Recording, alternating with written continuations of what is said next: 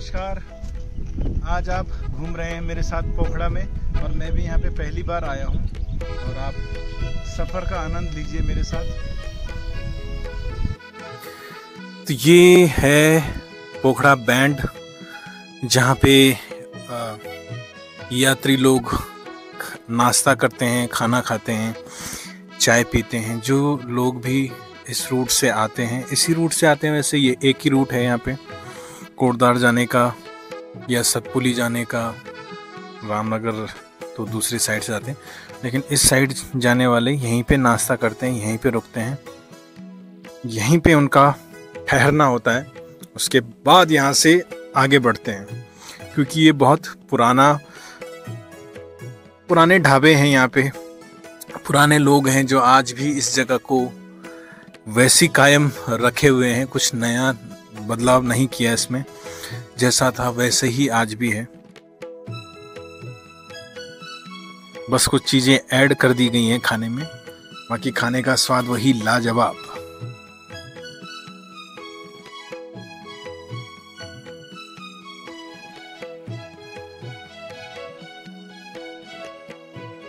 और ये हमारी गाड़ी भी आ गई है।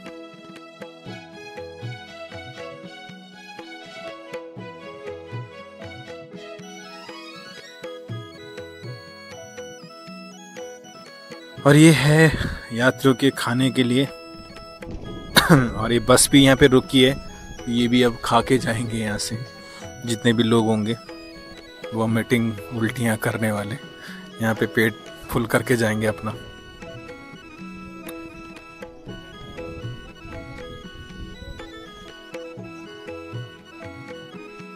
और यहाँ पे पेमेंट सेक्शन है जहाँ पेमेंट होगी। अभी ऑनलाइन चलता है। तो जो लोग यहाँ से आते हैं ऑनलाइन भी कर सकते हैं पेमेंट पहले बड़ा दिक्कत था। और अब हम चलेंगे आगे। जो आगे सड़क जा रही है, वो जाती है पोखड़ा के लिए और यहाँ से नीचे जो लेफ़्ट हैंड के लिए कट जाती है, वो चली जाती है आपकी Kotdwar, Satpuli. Right hand Pokhra. अब हम पोखड़ा की यात्रा करेंगे थोड़ी देर में। सुहाना मौसम।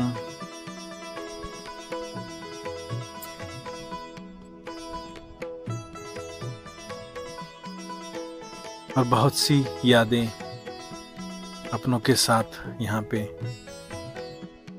बैठने की, उतरने की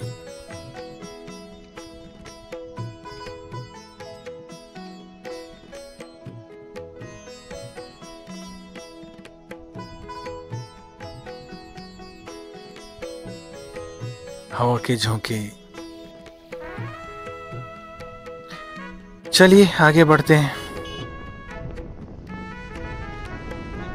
इन मार्केट का नाम मुझे पता नहीं है। अगर पोखड़ा से कोई ये वीडियो देख रहे होंगे तो ज़रूर वो लोग कमेंट ज़रूर करें, क्योंकि मैंने पूरा पोखड़ा देखा नहीं है अभी तक। मैं ऊपर ऊपर, जहाँ जहाँ मुझे नज़र आए बिल्डिंग वहाँ वहाँ मैं गया। बाकी मुझे इतनी ज़्यादा जानकारी नहीं थी कहाँ पे क्या है, कहाँ पे कौन सा मार्केट है। कुछ रोडें ख़राब सी थी, लेकिन मैं गया। वो मेरा एक को रहता है कि मैं जहाँ जाता हूँ, मैं वहाँ की वीडियो ज़रूर बनाता हूँ।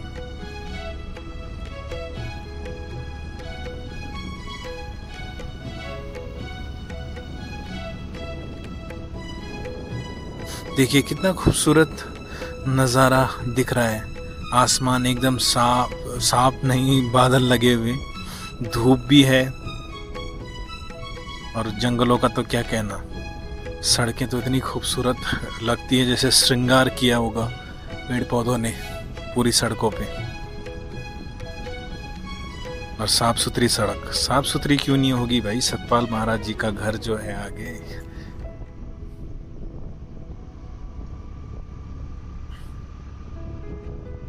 शानदार। सुहाना सफ़र और ये मौसम हसी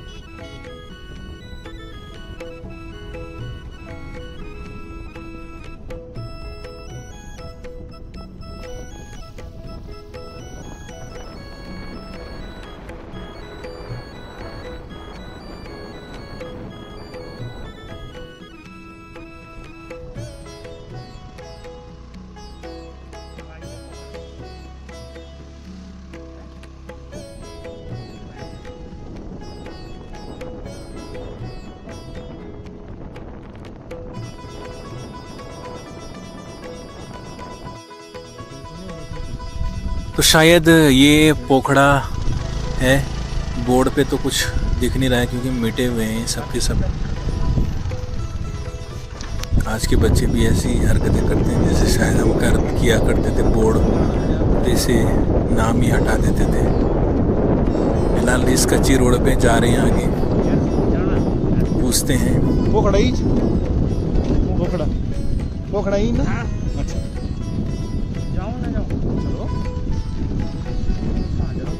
तो शायद ये जो सड़क नीचे जा रही है, बहुत कच्ची है अभी, ये पक्की नहीं हुई है।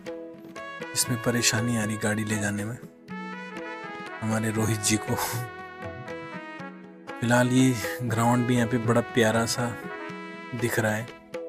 अब इसके आगे पोखड़ा कहाँ है, क्या है, मुझे नहीं पता। मैं पोखड़ा बैंड को ही पोखड़ा समझता था।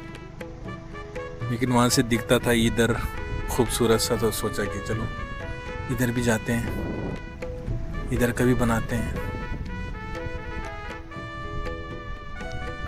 तो मैं फिर से रिक्वेस्ट कर रहा हूँ, पोखड़ा से जो भी लोग अगर देख रहे हों तो ज़रूर कमेंट करके मुझे जानकारी दीजिएगा कि ये कौन सी जगह है, क्या यही पोखड़ा है, या इससे आगे भी कुछ था यहाँ पे।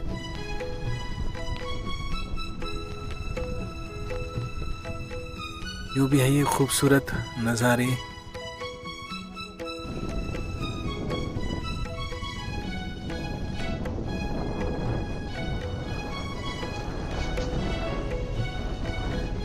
जैसी जैसी मेरी आँखें इस नज़ारे को देख के, जो जस्ट आगे दिख रहा होगा, इसको देख के महसूस कर रही होंगी कर रही हैं, वैसी शायद आपकी भी आँखें कर रही होगी, इस नज़ारे को देख के महसूस।